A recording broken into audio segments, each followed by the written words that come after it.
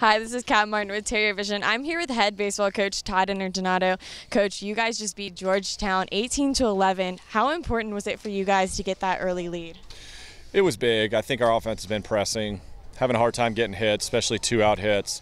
And obviously, putting up four runs there in the second inning, hitting some balls out of the ballpark, I think kind of relaxed everybody. But again, getting that early lead and getting our offense rolling was very important. You said you're getting offense rolling. Your bats seem to be waking up today. You guys had 16 runs the previous five games, y'all played and oh, more than doubled that today. What was helping you guys out there?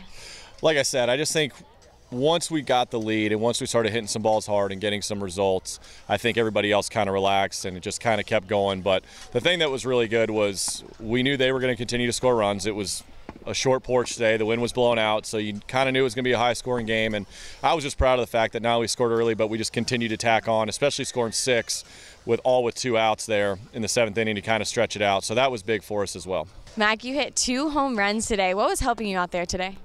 Honestly, just the, the trust of our coaches and our team, my teammates, just keep me going. Our offense came out here today like the Backstreet Boys. We are just larger than life. You recently changed your number. Is there any reasoning behind that?